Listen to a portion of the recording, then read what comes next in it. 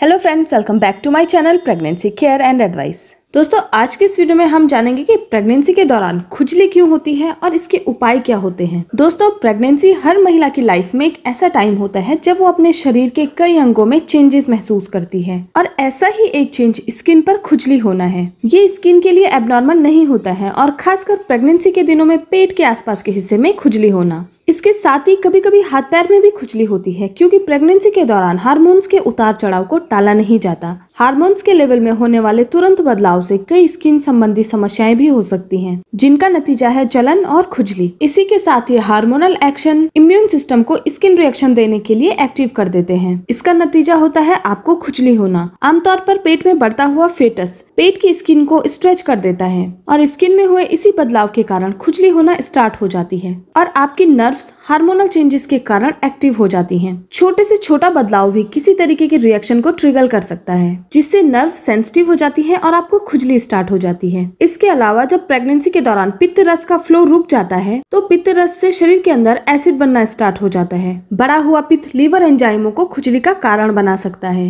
और बड़ा हुआ पित्त लीवर के एंजाइम को भी बदल देता है, जिससे आपको खुजली स्टार्ट हो जाती है। वैसे तो ये खुजली बाकी तरीके की खुजलियों से अलग होती है, लेकिन प्रेगनेंसी में कोलेस्टेसिस असल में एक लीवर डैमेज है, जो कि प्रेगनेंसी के आखिरी महीने में बच्चे पर भी असर डाल सकता है। जितना पित्त जमा हो गया है, उसी हिसाब से खुजली की इंटेंसिटी भी बढ़ती है, जिसके कारण समय से पहले डिलीवरी का खतरा भी बढ़ जाता है। आमतौर पर खुजली को कुछ कंजर्वेटिव मैनेजमेंट द्वारा मैनेज किया जाता है। खुजली को कम करने के लिए आप इन टिप्स को अपना सकते हैं। सबसे पहला है कि स्किन को मुलायम रखने के लिए आप उसे मॉइस्चराइज करते रहें। स्किन के रूखेपन को रोकने के लिए आप खुद को हाइड्रेट रखें। इसके अलावा हाथों और पैरों में मसाज करने से खुजली कम की जा सकती है। इसलिए रोज़ाना अपने पार्टनर या फिर अपने देखभाल करने वाले की मदद से आप इस खुजली वाले एरिया की मसाज करें। इसके अलावा आप अपने हाथों और पैरों पर दिन में कई बार आइस पैक लगाएँ। ये खुजली को कम करने में हेल्प करता है। इसके साथ ही कैलामाइन लोशन आपकी खुजली को कम करने में काफ़ी हद तक मदद करता है। इसके अलावा अगर आपकी खुजली कंजर्वेटिव मैनेजमेंट के द्वारा मैनेज नहीं हो रही है तो आप डॉक्टर से सलाह ज़रूर लें। प्रेगनेंसी के दौरान कभी भी अपने डॉक्टर की सलाह के बिना दवा ना लें। इसके अलावा अगर कोलेस्टेसिस के कारण आपको खुजली होती है तो आपका डॉक्टर आपके पित्त रस का लेवल और ब्लड में लीवर के एंजाइमों और बाकी फाइबरों को मॉनिटर करेगा। ये बहुत ज़रूरी है कि जल्दी डिलीवरी और कोलेस्टेसिस इन्फेक्शन से बच्चे को होने वाले जोखिम का पता लगाया जाए।